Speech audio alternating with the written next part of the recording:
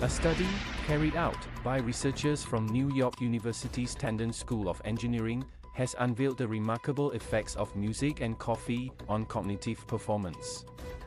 As reported in Nature Scientific Reports, the investigation monitored brain activity during cognitive assessments, utilizing cutting edge brain filtering and monitoring technology developed by MindWatch.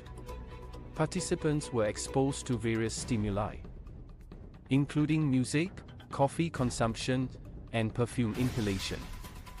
The findings demonstrated a notable increase in brainwave activity, beta band, associated with heightened cognitive performance during music listening and coffee consumption.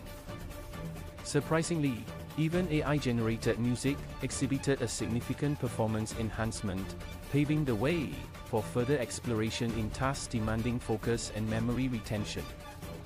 Over the past six years, Professor Rose Peckier from New York University's School of Biomedical Engineering has been refining the MindWatch brain monitoring technology.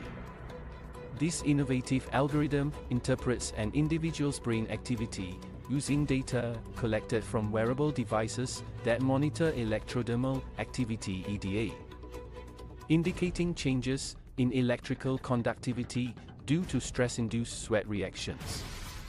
Study participants donned EDA monitoring bracelets and brain monitoring strips to undertake cognitive tests while exposed to music, coffee, and preferred perfumes. The same tests were conducted without the influence of these stimuli. The MindWatch algorithm unveiled significant alterations in participants' brain arousal caused by music and coffee. These changes induced a distinct physiological mindset, potentially enhancing performance in memory-intensive tasks. The researchers pinpointed specific stimuli that triggered heightened brain wave activity beta range correlating with improved cognitive performance. While perfumes had a minimal impact, the researchers suggested further exploration in this realm. Dr. Peckier explained the benefits of MindWatch, saying that the global pandemic has profoundly affected mental health worldwide, which in turn has underscored the urgency of tracking daily stresses, detrimental effects on cognitive abilities.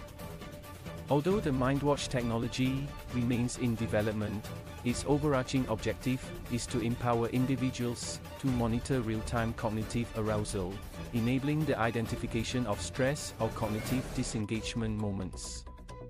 Peckier emphasized the revolutionary nature of this technology, envisaging a future where individuals can accomplish tasks while enjoying music, fostering a positive mental state conducive to enhance work and academic accomplishments.